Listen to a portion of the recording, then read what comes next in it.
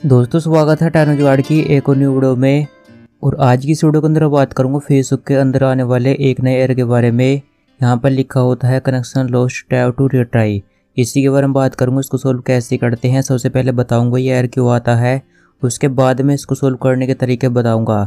जानने के लिए करना कुछ नहीं, वीडियो को पूरा देखें और कहीं पर भी इस वीडियो को एक लाइक भी करते जाएँ। दोस्तों, सबसे पहले बात करता हूँ, यह एरर क्यों आता है? सबसे पहले आप सभी लोगों को बता दूँ, यह जो एरर है, आपकी नेटवर्क से आता है। जब भी आपका नेटवर्क सही से नहीं आता है तो फेसबुक में इसी टाइप का एरर आता है। तो सबसे पहले अपने फेसबुक एप्लीकेशन को रिसेंट ऐप में से हटाइए, उसके बाद में सीधा अपने मोबाइल को फ़्लाइट मोड पर लगाइए।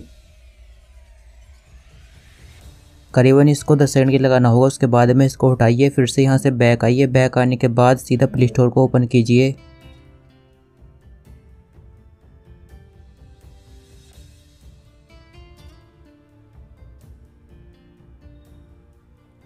ओपन करने के बाद फेसबुक एप्लीकेशन को ओपन कीजिए।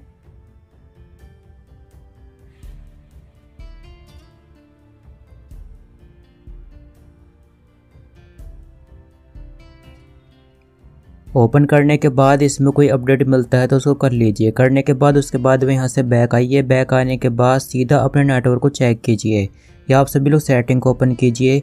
ओपन करने के बाद अगर आप सभी लोगों का नेट सही से नहीं आता है तो यहाँ पर मोबाइल नेटवर्क पर क्लिक कीजिए।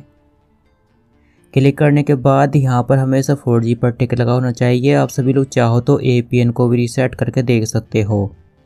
तो यहाँ पर रीसेट टू डिफ़ॉल्ट पर क्लिक कीजिए। क्लिक करने के बाद इससे जो आपका ए पी एन होता है, वो रीसेट हो जाएगा। यानी कि आपकी नेट की सेटिंग रीसेट हो जाएगी।